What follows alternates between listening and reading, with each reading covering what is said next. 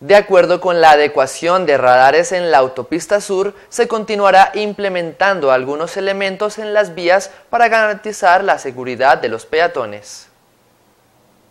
El secretario de Movilidad, Carlos Giraldo, cuenta los planes o estrategias que se planean en el municipio, especialmente en la autopista sur, con el fin de mejorar la movilidad y generar el respeto al peatón. Aparte de eso, decirle también a la, a la comunidad que se van a instalar otras cámaras de fotodetención con el fin de que en otros puntos que son álgidos de la ciudad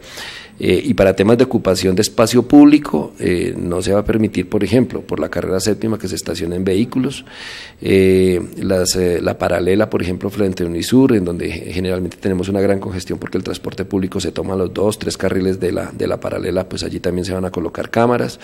En el ingreso a Unisur, en donde habitualmente el transporte público forma grandes trancones allí, porque pues hacen ascenso y descenso de pasajeros y congestiona la autopista también, se van a colocar algunas cámaras. En temas álgidos como por ejemplo la vivienda humilde, especialmente en el, en el sector eh, del ingreso a Quintas de la Laguna, en donde también allí se nos generan grandes congestiones, se van a colocar eh, cámaras de fotodetención con el fin de que el transporte eh, lo obliguemos a tomar los, las bahías de ascenso y descenso de pasajeros. Entonces, digamos que no solamente son controles, sino también es por el tema de, del ordenamiento del espacio público.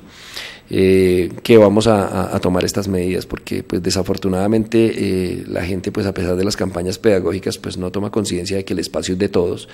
eh, pero que hay algunos puntos en particular en donde no debe haber vehículos en donde el espacio es para los peatones en donde se debe respetar el, paso de los peatones en donde allí debe dejarse libre de vehículos para que haya una, buena circulación entonces pues si no hay otras medidas que podamos tomar pues nos tocará de esta forma pero lo importante es que se le dé un orden a la ciudad, que realmente esto, eh, digamos que se propenda porque el espacio debe ser más para los peatones que para los vehículos. Gracias.